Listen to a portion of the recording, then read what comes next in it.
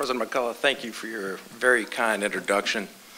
You know, it's a pleasure to be along here with you, with Laura and my three kids. And on behalf of my family, I'm honored to formally accept the position as the Director of Athletics at Florida State University. It's a lifetime goal of mine as a citizen in this industry. So to begin, I want to start by thanking some individuals who helped facilitate this process. President McCullough, Chairman of the Board, Peter Collins. Also, thank you, Glenn Sugiyama of DHR International, for all your hard work. Thank you to David Coburn for all your support, your professionalism, and all you've done for Florida State Athletics. Laura and I cherish our relationship.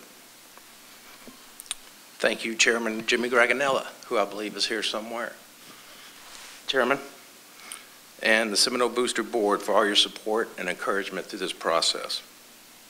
Thank you to the Seminole Booster staff for believing in a vision and working together to accomplish some remarkable feats in such a short time. Thank you for all your hard work. Thank you to all of our Seminole Booster donors who welcomed Laura and I into the community and really embraced our vision for excellence that we set forth. A few personal thank yous to people who aren't here. President Bob Davies, the President of Central Michigan, for his friendship and impact. Thank you to the Jones family for all their support, even through this process and encouragement they gave.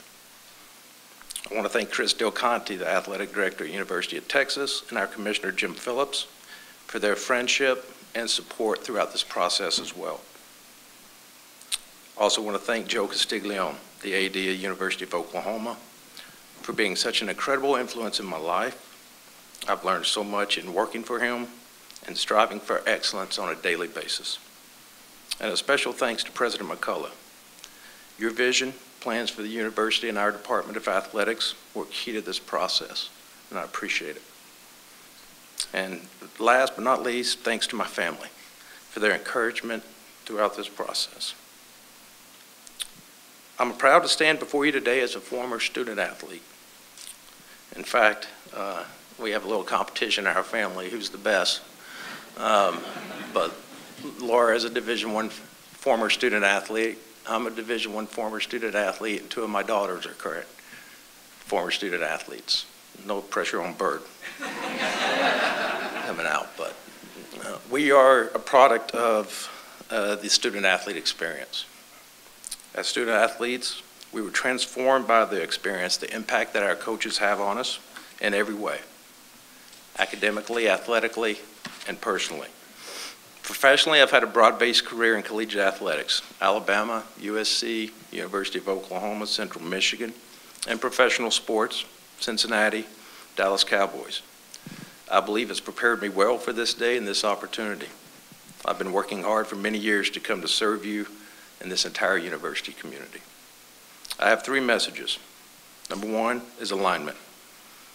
My message today about aligning our Department of Athletics with the educational mission of President McCullough's plans for the future of this university. I humbly submit that I've learned a lot from the best in this area.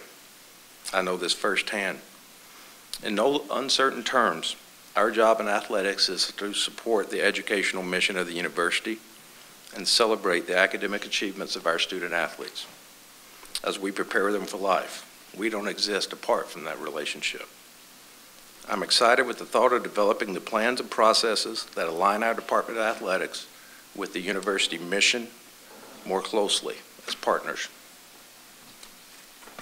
We will also be in alignment with Seminole Boosters. That is a must as we continue to work very hard on a shared vision of supporting our student athletes and providing educational and leadership opportunities for them, and not to mention the winning edge resources that allow them to be successful. My second message, especially to any student athletes in attendance, is that student athlete well-being is our focal point. We will be focused on the well-being of our student athletes and their success. We will embrace high standards that keep student athletes in every decision we make and the focal point in all we do.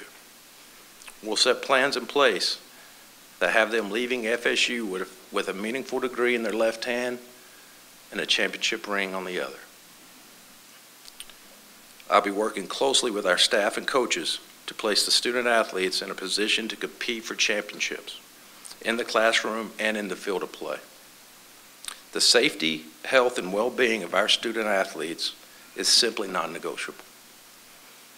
We will strive to have the best student athlete experience because they are our why. My third message, that we will embrace excellence. In my conversations with President McCullough, Chairman Collins, through this process, we constantly spoke of excellence. We constantly spoke of standards. And I pledge comprehensive excellence within our Department of Athletics. So my third and last message is a part of that conversation.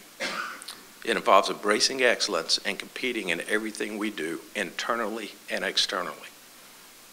We will become better than we were yesterday. We will compete and hold everyone accountable to a culture of high standards. The standard is the standard. We will invite all those that connect to our program to embrace the concept of excellence as well.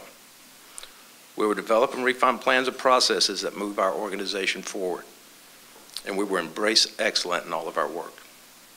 We will move tirelessly to communicate our standards of excellence within our community, amongst the university leaders, the academic community, our alumni, donors, and fans.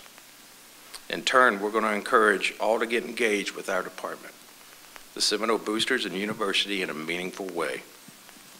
And I, I wouldn't be, I'd get in trouble from Darrell Beach if I didn't remind everyone to go join the annual fund today, so we can support our student athletes. To all former student athletes at FSU, we want you back. This is your home.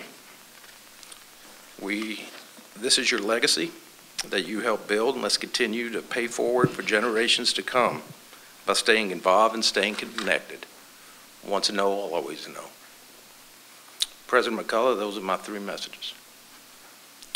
We will be in alignment with the university as partners. The student-athlete well-being is our focal point, and we will embrace excellence on every turn.